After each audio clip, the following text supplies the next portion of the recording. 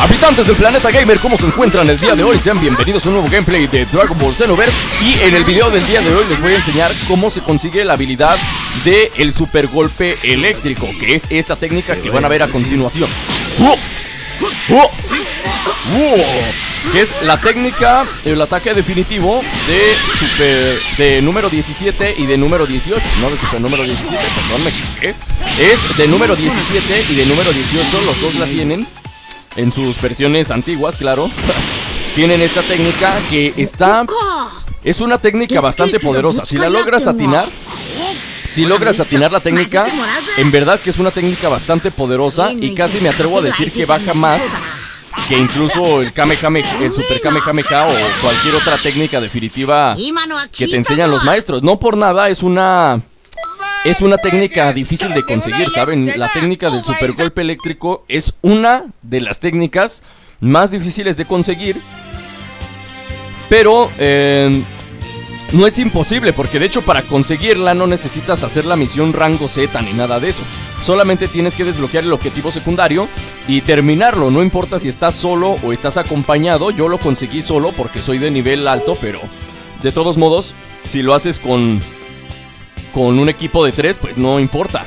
De hecho, mejor todavía, porque de lo que se trata la misión, y yo ya se los he dicho antes, cuando tratas de hacer una misión perfecta, es decir, que no te bajen nada de sangre, siempre te van a bajar, siempre te van a bajar. Entonces allí lo que te conviene es siempre darle chance de que te bajen sangre. Claro que esta es una misión en la que aunque no quieras, te van a bajar sangre, a fuerzas, te van a bajar sangre. Yo como soy nivel 95, sí hice la misión casi perfect y cuando la hice casi perfect me dieron rango C y no me desbloquearon la misión oculta de, de aquí. Y para que te den la técnica del super golpe eléctrico, pues necesitas que te desbloqueen el objetivo secundario de la misión.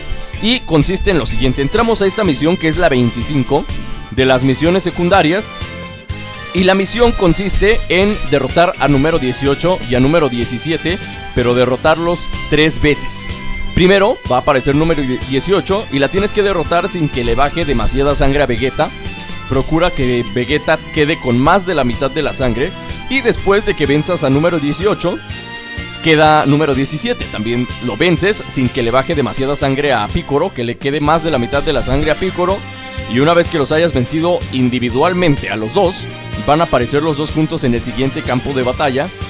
Y allí es donde se complica la cosa. Allí es donde se complica la cosa y es donde ocupas que alguien te eche la mano si eres de nivel muy bajo. Entonces ahí necesitas hacer en equipo esa misión con un equipo de tres para que pues salga lo mejor posible. Y estos dos no te hagan daño porque son muy spameros. Son. les gusta spamear a ellos dos. Entonces, con tu equipo, pues la tienes más fácil. Pero una vez que los hayas derrotado, si tienes suficiente suerte, una vez que los venciste, se van a volver a levantar. Pero endemoniados.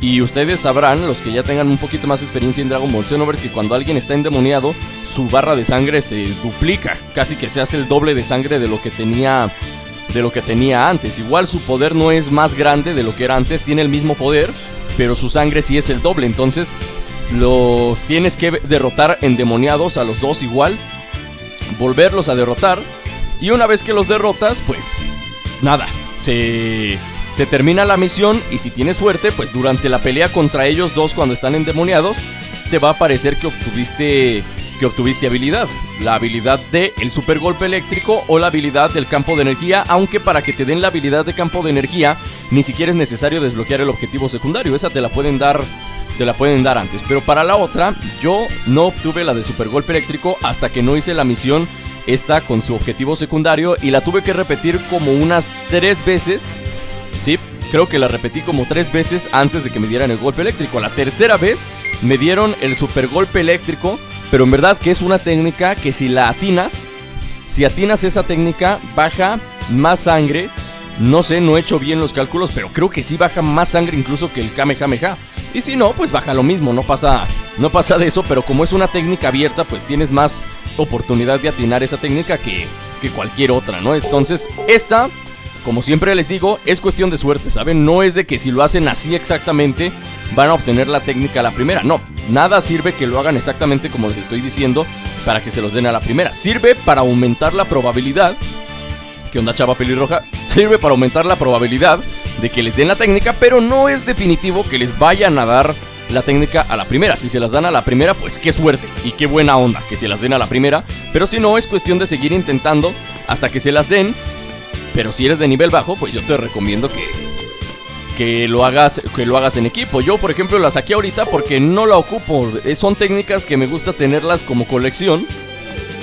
Pero hay gente que, que primero sube de nivel y después se pone a jugar en el online, hacer combates en línea. Y para combates en línea, créeme que esa técnica te sirve muchísimo porque es una técnica que no solamente le atina a uno, sino que le puedes atinar hasta tres. Le puedes atinar hasta tres al mismo tiempo con esa técnica y bajarles a los tres la misma cantidad de sangre, cosa que otras técnicas no hacen como el tufo de tacos de suadero, por ejemplo, el aliento de inocencia, esa solamente le baja un poquito a cada uno, pero pero esta del super golpe eléctrico le baja lo mismo de sangre a los tres. Así que si les gustó el video, no se olviden de dejar su like, de dejar su comentario, compartir los videos con sus amigos y síganme en las redes sociales para que me dejen sus peticiones y se quiera, los que se quieran comunicar conmigo, pues en las redes sociales también estoy atento de todo lo que de todo lo que ustedes me dicen, al igual que aquí en los comentarios de abajo. Así que yo me despido y nos vemos la próxima. ¡Chao! ¡Uh!